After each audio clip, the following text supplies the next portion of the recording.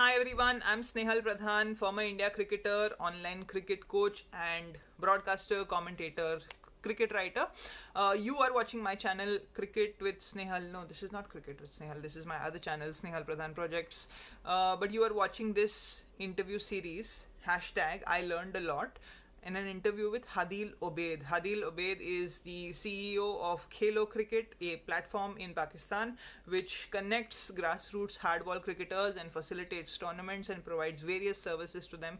She's also one of the uh, co owners of Pakistan's only female run textile company which she runs entirely with her sisters. Uh, i've been following her on social media for a few years. She's also written a few articles for cricinfo in the past and i found uh, her to be a fascinating character and i thought let's bring her on for a chat learn a little bit more about her her life her double life essentially because she's uh, she's running two path breaking professions. So i hope you guys enjoy this conversation with Hadeel Obaid um, so, so there were so many things that you know uh, I wanted to chat with you about, and so many reasons why I wanted to chat with you. Um, one, I mean, the main thing for me is I've loved seeing your work, whatever you've been uh, sharing on social media, the work of Khelo Kricket, um, not just for from the women's cricket point of view, which is what really interested me, but also from the fact that you're making such a big mark in the uh, grassroots cricket ecosystem in Pakistan. Um, and it, it very much comes across as if um, you are someone who I would normally imagine would not exist from the point of view of um, from what I have heard of Pakistan, a few stories I've heard of Pakistan. I was uh, doing a little bit of research on um, uh, an article on Sana Mir um, maybe last year, and um, a journalist in Pakistan told me that you know in Pakistan it's a big deal even if a woman sits with you know her feet across on a motorcycle rather than sitting with both feet on one side side saddle uh, mm. in in the context of that and in the context of the stories i hear of pakistan women's cricket team where you know even people who are currently in the cricket team have stories of not telling their neighbors that they are in the Pakistan cricket team because of fear of you know what people will say. In that kind of a context, um, you are a I mean an entrepreneur in the cricket space, um, a female entrepreneur in what is normally a male-dominated field in terms of a cricket and b I, I assume business um, and entrepreneurship in Pakistan. Um, just let's let's kind of uh, before we actually get into the present, can we go a bit, into the past and tell me a little bit about your background and what has kind of led to the current uh, situation that you're in? Tell me a little bit about sure. your those so firstly, thank you because that was a very, very kind sort of a synopsis that you made. I think you have overestimated uh, the impact, but I appreciate it. Um, so honestly, uh, it's not that I've ever played cricket. Uh, it's not that I've ever uh, even had sort of the opportunity growing up to play cricket because it wasn't really in the schools and universities and things. So um, my love for cricket came from watching cricket. And it came from absolutely since i can't even remember since i was probably six or seven i was always obsessed with the sport. I like knew every single stat. I like wanted to like you know like and at that point it was just the men's cricket team you know and and there was so much love for it. And there still is so much love for it. I mean i, I you know i came back from college i remember and i started uh, writing on cricket. And i wrote a number of articles for Cricinfo and wisden and and a bunch of uh, you know local newspapers dawn tribune. And i kind of found that that was my outlet. That was my way of expressing my love for the sport. And and every single article i don't know whether you've read any of mine but they all come from a perspective of being extremely emotional.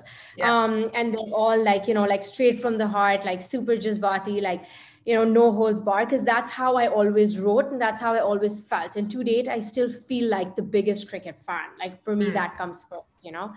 Um and so you know my background was a little bit of just kind of loving cricket and then i went into i moved back from college and i started working for my family business uh, which is textiles mm. um, and so uh, my four sisters and i we run uh, pakistan's only women run women owned textile company so we so kind cool. of yeah, Thanks. Uh, so we do that. And then, um, but it wasn't enough for me. I needed to find something that I couldn't let go of my love for cricket. So it kind of went from just writing about it to me wanting to sort of give back to a sport in a sense that had given me so much.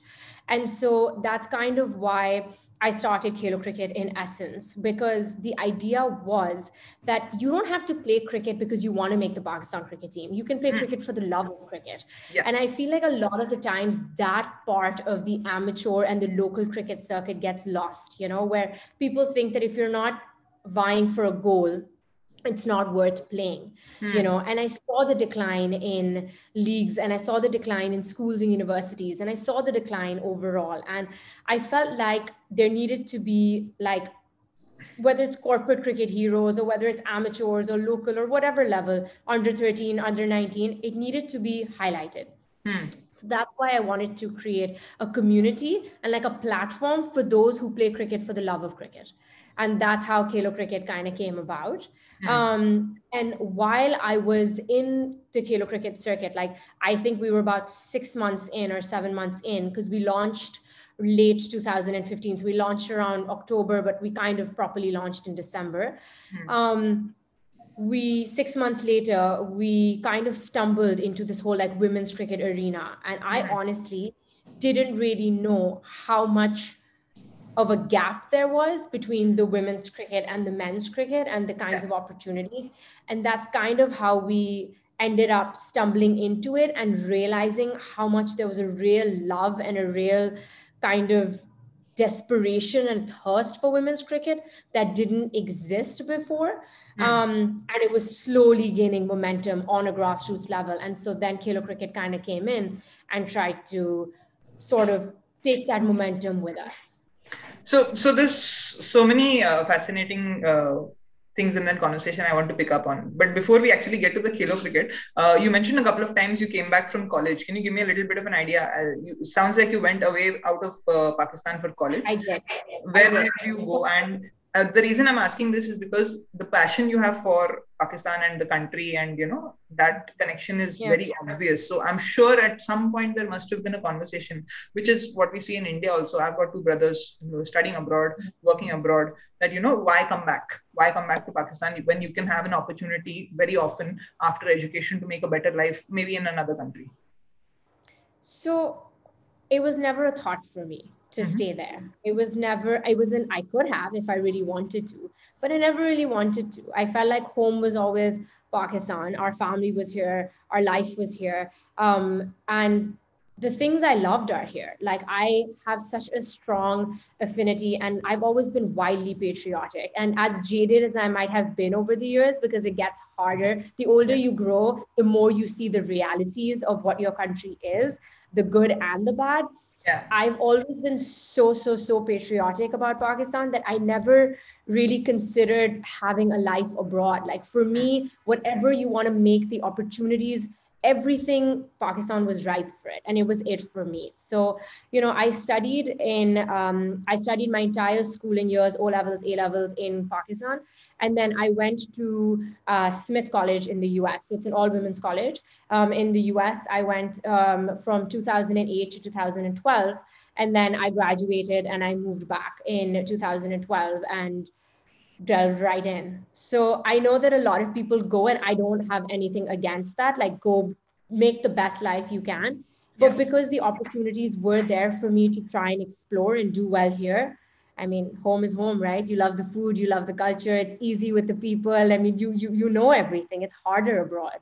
Yeah, yeah. In so many ways, uh, you're right. And like then the second part that I wanted to pick up on, and I had no idea about this before. I had seen, you know, a couple of places where your LinkedIn and your social media where you said textile manufacturer, and um, but a, a woman-run, woman-owned business in Pakistan must be rare. I mean, let's put the cricket aside. You're you're already kind of in charge of another business where you're probably in a male-dominated field. Is it fair to say? Very much so. Uh, textiles is a male-dominated field.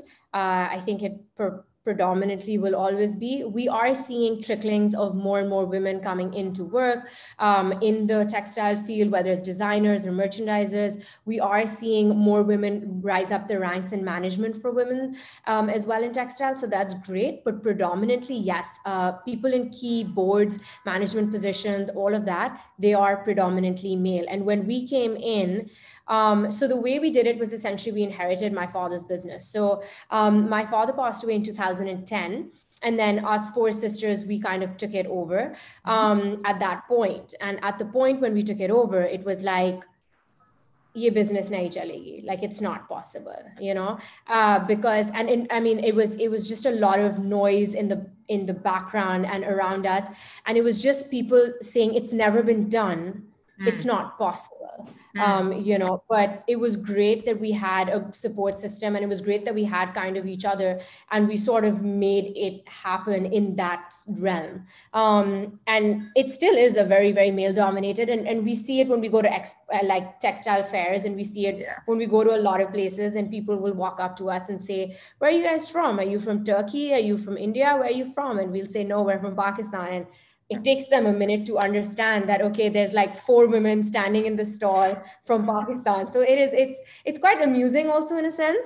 Um, and it's quite exhilarating as well to see that like our gender has thankfully not in any way inhibited us from kind of you know continuing and running and growing this business.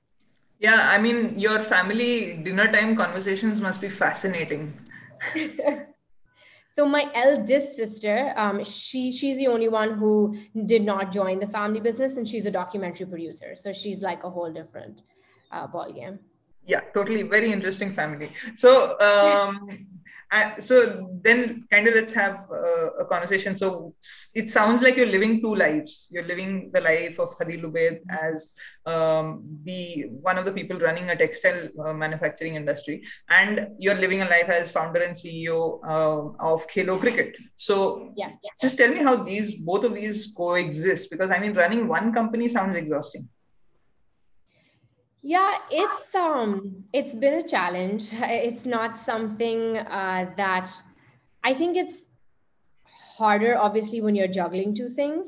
Hmm. I don't think um there are days when i'm like how am i going to manage both? Or like what can i do?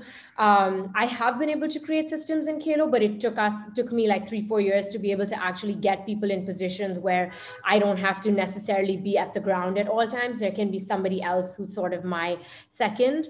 Um, but it's hard uh, and there are days when i'm like oh i wish i just ran one business like a normal person and just you know this is a, a little out of control.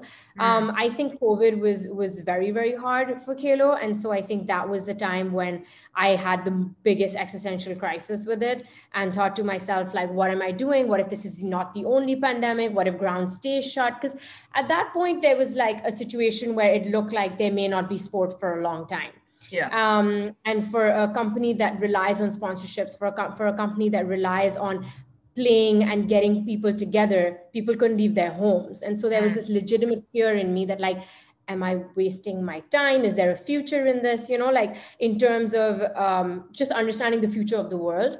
Um, but yeah it's uh, i do live a double life. And uh, you know even in my family they always say that they're like there's Hadeel who's the cricket lover and then there's Hadeel who's in the textile. So so it's it's it's definitely a double life. And, and i try and do it in a way where um you know that I, I ascertain certain hours are attributed to Khelo Kricket and then certain hours are attributed to my uh, textile company. And I try and kind of juggle both sounds like such a challenge um, but let's um, maybe set a little bit of a, a, context for people who don't know a lot about Khelo Kricket. Can you just uh, tell us what your main uh, product is uh, essentially? Mm-hmm. and uh, like you mentioned sponsorships how uh, the business essentially makes money. Um, so as to understand how things come together so, uh, Khelo Kricket is an online platform that works towards the development of cricket on a grassroots level. Um, so, whether it's uh, playing for your amateur league, whether it's you want to be the next Shahid Afridi or the next Sana or whether it's somebody who wants to just play for their company, their school, their university, we have created a community for people to come, connect, and play. That's basically the idea. And our name also we kept as simple as possible, Khelo mm. Cricket. I mean, it doesn't get easier than that. Um, and uh, sorry, what was the second thing you asked? Uh, the second thing was how does Khelo Kricket make money? Because from uh, the point of view of the uh, consumers, you're giving them yeah. a service. But is yeah. this something? Is this uh, so? Is it an app? Is it uh, a website? is it something that has a registration fee, or do you rely on sponsorships, like you said? So we have a number of different revenue streams. Uh, so the way it works is uh, the first way is we um, register teams teams that are on our platform. They pay a certain like fee. It's a very nominal fee. Um, and then through that we keep their stats and um, you know write match reports and kind of highlight their players. The second thing is uh, people ask us to come in and do photography video highlights things like that for like tournaments and matches and things. So we provide that service and we end up paying for i mean they end up paying for our service. Yeah. Um, the third thing is that we set up tournaments. Um, we actually do tournaments, uh, whether it's for women's, whether it's for men's cricket, university cricket. So we'll do um, men's tournaments or women's tournaments. We'll organize them in their entirety, and then people will pay a fees to either be a part of the tournament or then we will get sponsors to sponsor those tournaments. So mm-hmm. the kits, the jerseys, everything, and then Khelo Kricket makes a fee off that. Mm. Um, and then the fourth way is um, that companies approach us and they ask us to help do their corporate tournaments. So mm. they will just give Khelo Kricket like a contract and they'll say, you know, just set up a whole tournament for us and we'll go ahead and we'll set up a tournament for them. Um, and then obviously we like charge a fee for that. So that's kind of how Khelo Kricket makes money. It's like in a number of different ways. Nice, so interesting. These these other uh, uh, aspects of Khelo Kricket I had no idea about. So I'm kind of glad I asked yeah. you that. And let me ask, I mean, uh, the bulk of your cricket is probably grassroots cricket, which I'm assuming in Pakistan is tape ball cricket, whereas in India it would mostly be tennis ball cricket. Or is it a lot of leather ball cricket, leather ball matches that happen uh, on your it's platform? So we do a mix of hardball and tape ball, but mm-hmm. 90% of the cricket that is, uh, sorry, I'm just putting my laptop on charge. 90% of the cricket that is played and that we end up uh, covering is all um, hardball cricket. Oh, uh, yeah. So it's we yes the, because we're not really looking to tap into street cricket because uh-huh. street cricket you can't really um, keep stats for street cricket because I'll tell you what happens. Somebody is playing a tape ball match and their mom calls and is saying, "Ke sabzi utha ke aa ghar." and they sit on their motorcycles and they go home, right? And that's kind of what tape ball cricket is. It's very like ad hoc, you know, six boys, eight boys, ten boys. So you can't really you can't really quantify or you can't really keep stats for that. But for tape ball tournaments, yes, we ourselves do a tape ball tournament every Ramzan for men and as well as women, and it keeps growing every year. Um, and we, but a lot of the cricket that we cover, a lot of the tournaments we do is all hardball cricket. Nice. Okay, that's that's that's fascinating. So it's a much uh, much more organized level of cricket which you're kind of providing this service to. Yeah. Super. Um, so, like you said, you discovered once you got into Khelo Kricket this huge gap that exists um, in opportunities for women to play and opportunities for men to play. Tell us like especially for me who's like really interested in what's going on in the rest of the women's cricket world i see the similar things in india but I, would like to get a real sense of uh, what things are like in pakistan i mean uh, not just in your city which city are you in by the way but like all over the country what you've seen um okay so i i can just give you from my experience so um there are um multiple tape ball tournaments that happen in Ramzan. Like Ramzan is like tape ball mania in like Pakistan. Like everybody loves it. Everybody starts post iftar or post tarawih and then goes all the way till like uh, sehri time. You know, that's just how it is here. Mm. And you will see every gully and every ground. It has some form of cricket being played, hardball, tape ball, but it's always men. Hmm. Um, it's never women. And so in 2016, we did the first women's cricket tape ball night Ramzan tournament. And it was like a big deal. Mm. Like we we just like randomly rolled the dice and did a four team tournament. Mm. Um, and we had over 250 registrations in 24 hours and we didn't know what to do with those girls because you know i i didn't even i was scared that we won't even be able to get two teams together. I never in a million years would have imagined that that was the level of thirst and and enthusiasm that would come with a women's cricket tournament. And they were all like it's not possible. Ladkiyan jayengi maghrib ke baad raat ko you know and returning at 3 o'clock in the morning and at 4 a.m and they're all playing all night it's such an experience it's such a community and I, and I always say this that men's cricket um, is so limited in this thing that when you go to a men's cricket tournament or a match, it's usually there's not really that many supporters. There's not really a sense of community. But when you go to a women's cricket match, it's like a festival. It is parents, fathers, mothers, sisters, brothers, cousins, people tuning in. You know, when we were when we were live streaming our women's tournaments, um, which we do, I mean, there's people like writing saying, "I'm so excited! My cousin is playing. I'm looking, watching from Dubai. I'm watching from Africa. I'm watching from here."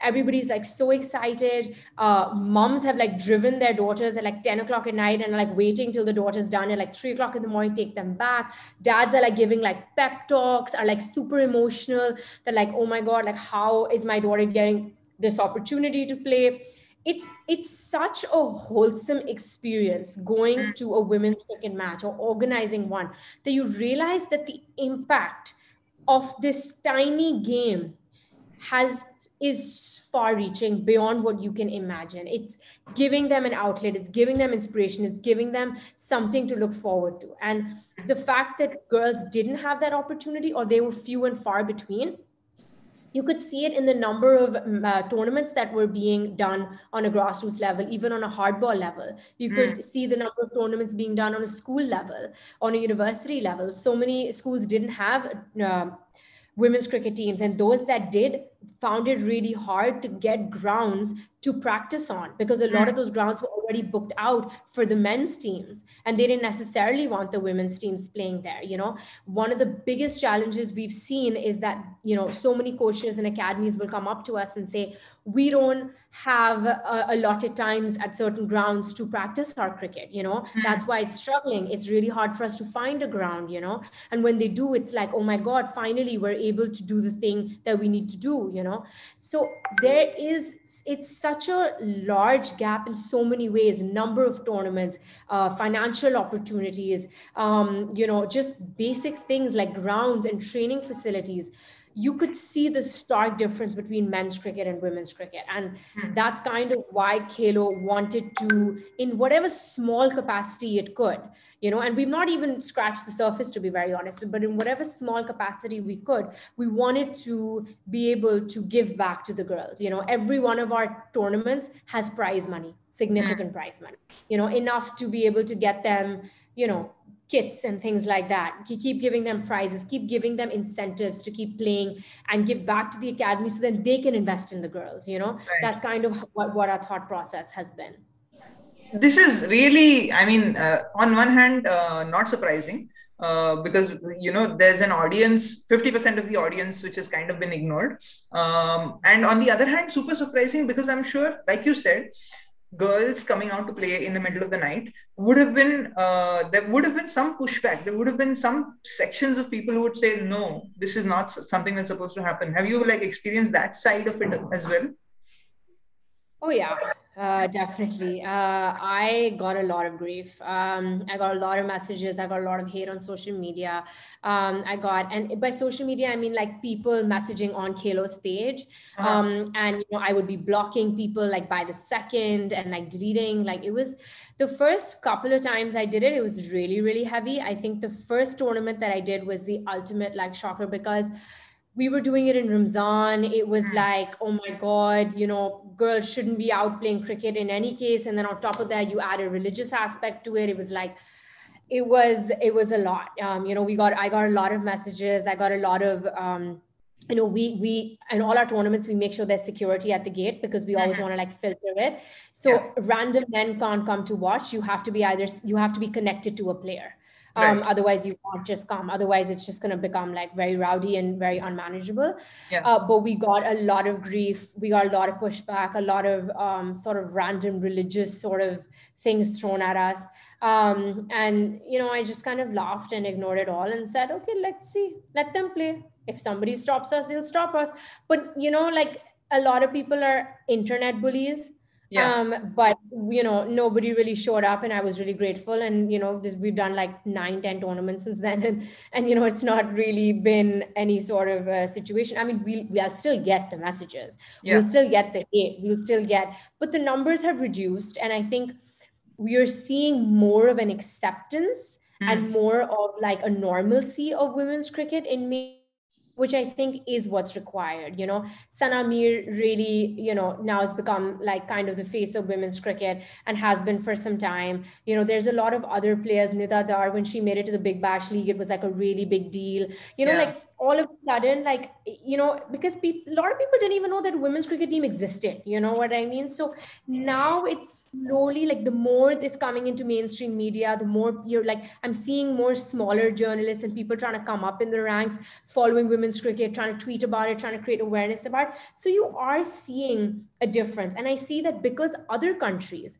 are investing so much in women's cricket you're hmm. seeing that the overall ecosystem is changing whereby hmm. now it's becoming less of a novelty less of a pr stunt less of a csr campaign for a corp company and yeah. more of like this is something worth looking into. This is something worth investing in yeah. Yeah i mean i i've long felt that you know in many aspects both both countries india and pakistan have uh, plenty of problems when it comes to administration of women's cricket. But in many aspects pakistan has done a lot of things right in terms of their women's cricket uh, ahead of uh, india. You know earlier to introduce contracts with recently with recent with Bismah's case earlier to introduce a parental care policy which is i mean groundbreaking honestly speaking. Uh, and how much of what so that's the impact that the international community sees that's the impact that we see. Can you tell me like stories of impact that you've seen where you've had you know girls coming into your tournaments and then what happens to them? Do uh, have you had stories of for example girls going on to play within the uh, the mainstream hardball cricket system or people just messaging you and saying um, okay now my family is okay to letting me play because of this tournament existed and stuff like that. I, would like to know about the impact that you've seen through uh, Khelo Kricket on the women's cricket community at the grassroots. So I think that I'll start by saying the biggest thing is trying to create a safe environment for women to play cricket. And I think that a lot of the times the question would come into everybody's head is that, you know, is this a safe, wholesome, healthy environment? Will our daughters or our sisters or, you know, our friends be in danger by playing? You know, these, hmm. these were sort of some of obviously, and I think that exists anywhere in the world, to be honest, just being a woman, if you yeah. are out in a field anywhere, there is that thought process that are you safe? Hmm. Um, and I think, um, honestly, from I can only speak from my experience. And when you know every single women's cricket tournament i have been there um, i have stood on the ground and i have been there whether it's all night or have because it gives the parents a sense of reassurance that there is um, a woman who is running this who mm. will make sure that our daughters are safe hmm. and i've had parents come up to me and really be very very thankful about the fact that you know they felt like they could leave their daughters come back after a few hours everything was going to be okay. Didn't matter that it was super late at night. You know that we had created a little bit more of like it was you know a little bit more of like a like a in like a community feeling you know where everybody was looking out for each other on the ground and everything was a little bit okay. And you know um there there i think that has sort of helped a lot um, so we definitely did have like parents and siblings and a lot of people come up to us and not just me like my entire team at Khelo and everything and be like you know like we really it came from a place of like gratitude of knowing that their daughters would be okay mm. um, but also um, when it comes to like there's so many girls who've played in our tournaments and they've gone on to be a part of the Pakistan A team or the Pakistan women's team. And that may not necessarily be because of Khelo Kricket at all, but it's just that they because we've seen them play in our tape ball tournaments, we've seen them play in our hardball tournaments. And then it just so happened that the same girls who were performing really well in these ended up, you know, they were playing for an academy that took them further and they made it to the Pakistan team. And it's really exciting because we've actually seen their progress in a sense. So I'll give you an example. Fatima Sana, who won just the ICC Emerging Women's Cricketer of the Year award. Tremendous like talent. Yeah, she's amazing. And she was, I think, 12 years old when she came uh-huh. to uh, our first women's cricket tournament in 2016. Uh-huh. And she was, she won player of the tournament and um, you know she was like i remember watching her and being like oh my god this girl is amazing. Like she's absolutely incredible you know and she's really a star to watch out for. And i as i've been following her career and you know we, i've had many interactions with her because she's played a lot of Khelo's smaller end tournaments while she was part of the pcb system as well. Yeah. And as i was watching her progress and then this year when she won the emerging women's cricketer i'm like wow this is amazing. Like six years on she like did it. Like she she made it. She's she's doing incredibly well. She is going to be somebody who everybody now knows. And she's somebody who sort of normalized you know women's cricket again because now now we all of a sudden her gender became irrelevant the minute that she won an accolade. Yeah. because now you won an accolade you know and and it's it's almost like you know when they say that um race doesn't matter when you're part of the 1% right? So in a similar way i feel like gender doesn't matter when you're a, because now she's part of this elite panel of women cricketers and all of a sudden the first one ever from pakistan to have won an award like this. And it's like oh my god like no nobody once said oh fatima sana you know a women's cricketer or nobody judged anything about her it was all of a sudden everybody's like clapping their hands and posting wonderful twitter accolades about her and i'm like this this is what needs to happen the yeah. more you do well the more you see the international community backing your players the more you're like forget women men cricketer hai na that's mm. the thing yeah, I couldn't agree more, and I felt the same when uh, Pakistan won those uh, gold medals in the Asian Games. That you know, at when you when you come home with a gold medal, they don't say it's a women's gold medal; it's a gold medal. It's adding to your country's tally, and so the recognition that comes with that is just so much more universal than uh, something that would otherwise be isolated to a women's cricket tournament. Um, so, like I said, one of the uh, biggest reasons that I reached out to you is because I'm involved with similar initiatives that we're trying to build in India.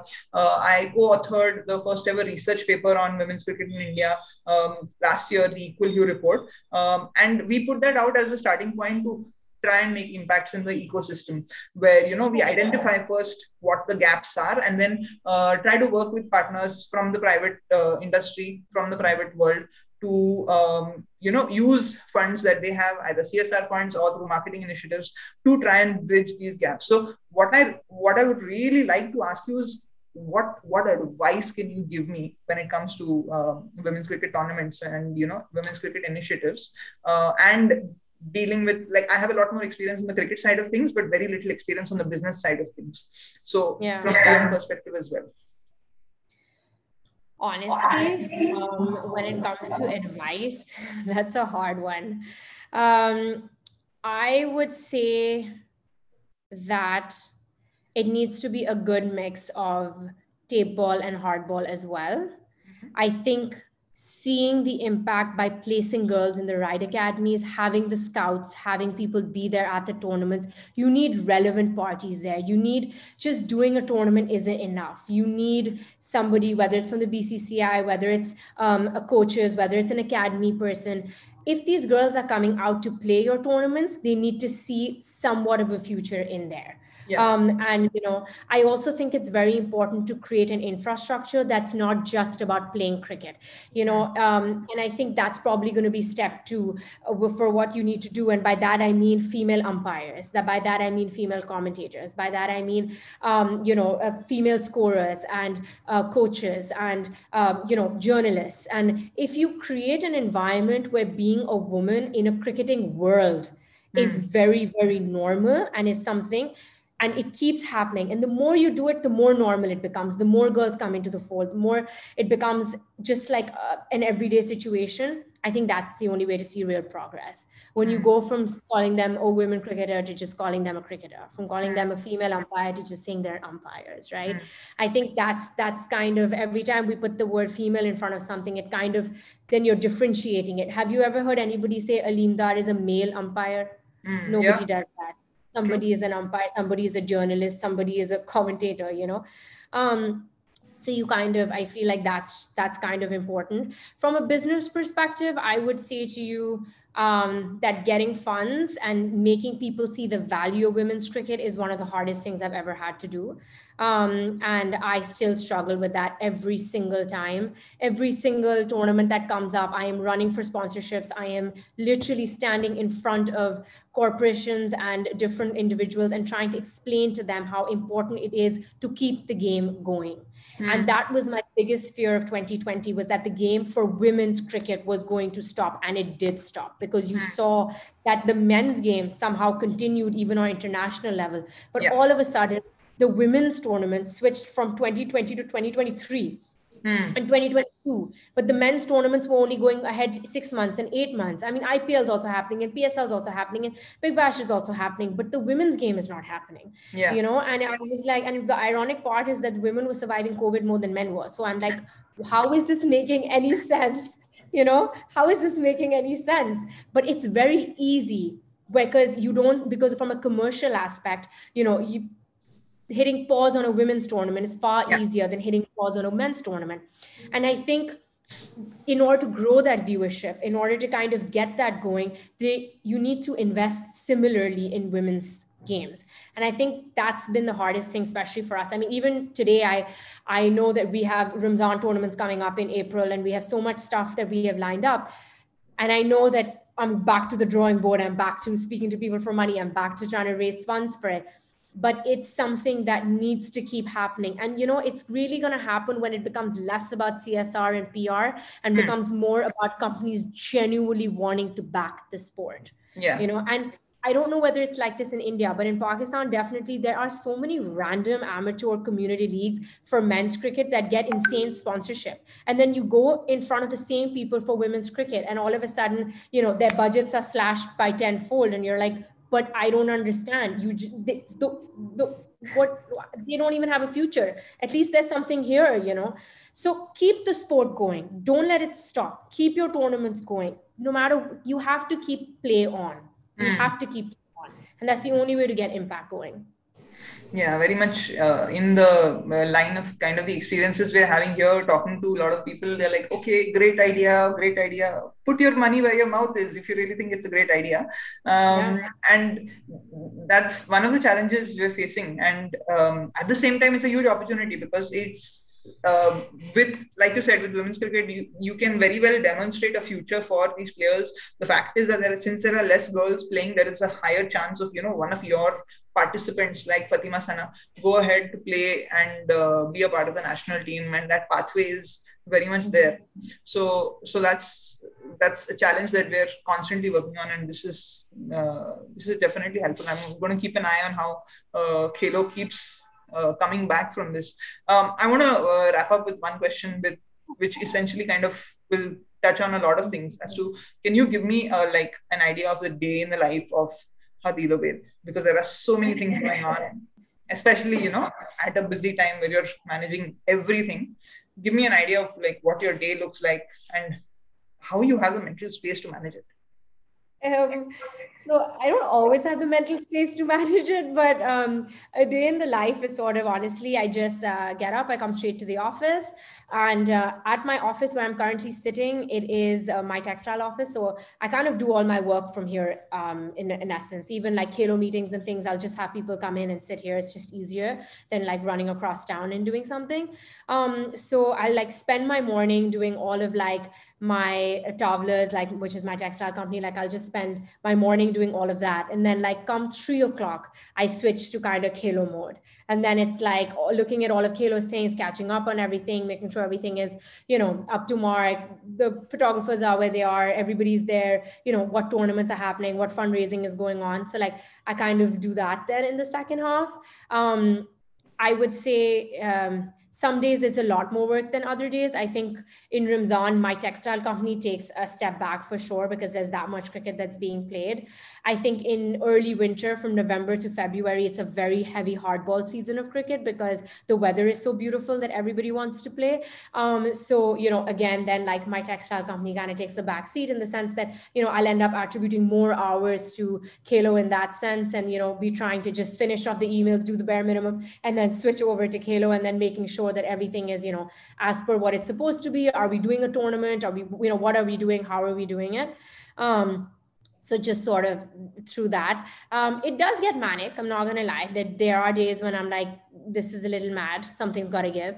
Um, but uh, it's fun man. I, I don't i can't imagine a life without Khelo i think it's opened so many doors for me in so many other ways that i don't think you know would have ever happened for me.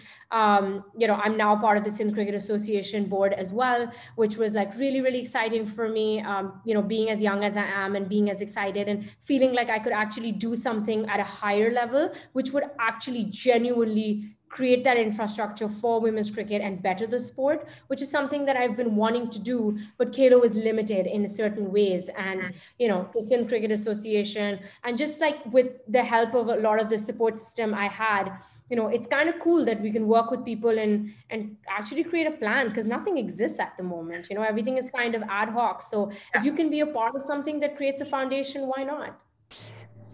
That's I mean, and, and that's great news. And um, it's probably rare for me to hear and you know my experience of cricket administration in india to see someone who's not a former cricketer brought into cricket administration. Yeah. I, mean, I don't know if that's a big deal in uh, uh, in the Sindh association but for me to hear that and that's probably a, a recognition of you know the kind of impact that you have made in the community over there honestly i was very like surprised when when i got the call. I was quite excited as well. Um, but i think it just came from having a passion for the sport having a passion for women's cricket. And and genuinely I, I know a little bit now having done it for so many years what the infrastructure is what the players are what the academies are and stuff. So for me it wasn't like starting from scratch. Mm. um, and so i think that's something that definitely helped. And I mean, I hope, you know, I mean, I listen, I have, I'm very like starry eyed still. Like, I have a lot of hopes and dreams for what we can do. Now, if we get there, we get there. But, you know, I mean, you can't predict anything in this world. But I think that we're making the steps in the right direction. And I also think that, like, watching Australia and watching England and seeing their academies and trying to see how well they're doing with women's cricket, you kind of feel that, like, why are we not there? How are we not there? I mean, even yeah. India has done significantly better than Pakistan on an international scale, you know. Um, so for for us to, I mean, I remember I was like watching uh, like the Indian women's game and thinking to myself, like, wow, you, you know, your players are actually a lot more advanced in a lot of ways. And you know, you guys probably don't think that way, but but for, for from our perspective, you know, we're like, wow, there's so much promise there. There's so much more um, you know, it's so much more organized than it is over yeah. here. And it seems like, you know, uh, there's a lot more academies, there's a lot more girls playing. Um, you know, I'm hearing rumors of a women's IPL or something, you know. So, so I don't know. I mean, if that happens, that would be huge, you know. Um, but just see, just hearing and seeing all of this, it's it's quite exciting. Yeah, it is absolutely. Um, I'll sneak in one more last question in terms of you know what does the future of Khelo look like? What do you think? Where do you think uh, this initiative is going? I mean, your guess is as good as mine. Um, I uh, I'm hoping that at some point we are able to be a feeder program uh, to the PCB um, especially when it comes to women's cricket. Um, I would love for us to be able to see the players that we have on a grassroots level on our table and our hardball tournaments, choose the best performers, and then give those stats and almost become like a hosting platform and a mm-hmm. feeder program to the PCB and say, here are all the 100 girls that have done really well over the last two seasons, you know, and then having them see their fitness levels, having them see how good or bad or different they are, and then perhaps allowing that to create a new crop of women cricketers in Pakistan, whether it's an under 19 level or a developing, emerging level, and see their progress throughout. And I think that's kind of where I'm hoping Khelo will be nice. I mean that's so um, so aligned with some of the dreams we have for the equal hue project as well. Uh, and i like wish you all the best with not just the women's cricket side of things but all with uh, all the men's cricket side of things as well um, and the textile stuff. I mean I appreciate that, is, that, that is that is a conversation we need to have another interview for because um, I, i'm sure there must be some stories over there